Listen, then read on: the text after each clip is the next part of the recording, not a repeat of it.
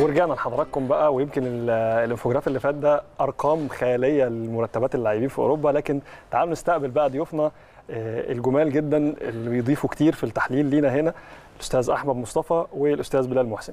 حبيبي طبعا يا عبد الرحمن أهلا بيك واهلا بكل السادة المشاهدين واهلا طبعا بيك يا والله أحمد. وآه وحشنا. وكنا مفتقدينك طبعا وكل سنة وأنتم طيبين ورمضان كريم على كل السادة المشاهدين يا رب وعلى آه، النادي الأهلي بقى إن شاء الله في مباراة سيمبا كده تبقى سهرة رمضانية جميلة إن شاء الله. أنت دخلت في مباراة سيمبا؟ دخل على طول. مساء الخير يا أبو حميد. مساء النور يا أحمد وحشني جدا ومبسوط جدا إن أنا معاك ومع عبد الرحمن وإن شاء الله نقدم حلقة مميزة كده لكل مشاهدي قناة يعني طيب. يعني إحنا طبعا كنا مجهزين ال- الحلقة النهارده تزامنا مع آه، مباراة منتخب مصر اللي يمكن يعني طبعا خلينا نتفق على حاجة بس مبدئيا. يعني النتيجة طبيعية جدا ومنطقية جدا. إحنا بنلعب كرواتيا صحيح كان نفسنا إن المنتخب يفوز قلت إنه المكسب في حد ذاته مهم جدا وهدي دفعة كبيرة جدا.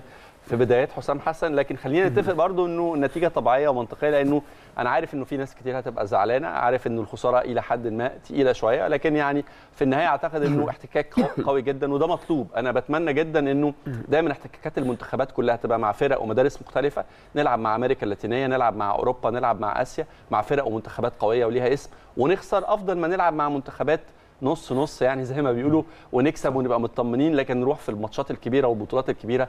ما نعملش حاجة فهارد لك لحسام في بداية مشواره. وأعتقد إنه التجربة في قبل ما ادخل في الأهلي وسيمبا عارف طبعا إن إحنا مجهزين أهلي وسيمبا بس عايز تقييم كده لأهم مكاسب آه، البدايات بالنسبة لحسام مع منتخب مصر. يعني يمكن يا أحمد طبعا آه، معسكر منتخب مصر استمر من آه، تقريبا من 1 رمضان يا عبد الرحمن المعسكر انطلق. آه، كابتن حسام حسن واضح إن هو بيعتمد على مدرسة المعسكرات الطويلة.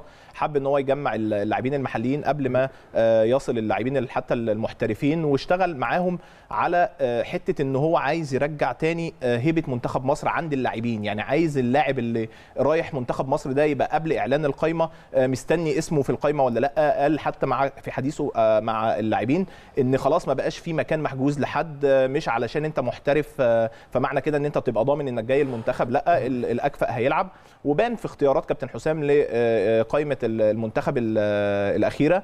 حتى في آه، مشاركاته إحنا شفنا أحمد حجازي اللي كان أحد العناصر الأساسية وأحد آه، قادة منتخب مصر بيظل على دكة ال- البدلاء في المباراتين ال- الوديتين أمام نيوزيلندا. والنهاردة أمام آه، كرواتيا حمدي فتحي شارك بديل لإمام عاشور ما شاركش النهارده. آه، يعني شايفين الثلاثي مثلا كمحترف في أرسنال كان بيجي في كل المعسكرات بالظبط. برضه آه آه آه. يعني هو كابتن حسام واضح إن هو عايز يحط فكر جديد إن الكفاءة في ال في, في, في الاختيار هتبقى لعامل الملعب وال وال والمشاركة. والفورمة. آه بالظبط يعني. جاهز هو- وبتأدي بقى ان كان اسمك وايا كان النادي اللي بتلعب فيه. بالظبط. آه وإحنا. شفنا حتى يعني يمكن كابتن حسام كسب الرهان. أنت سألتني يا أحمد عن المكاسب. كابتن حسام كسب الرهان مثلا في آه، رهانه على مروان عطية فاز بجائزة رجل المباراة. لو ما كانش حسام حسن موجود كان كنا هنشوف محمد النني مع كامل احترامنا لقيمة النني الكبيرة طبعا. ولكن كنا هنشوف المكان ده محجوز باسم اللاعبين المحترفين. كابتن حسام بيدي فرصة النهارده لمروان عطية بيعمل أداء كبير قوي سواء النهارده أو المباراة ال- الماضية.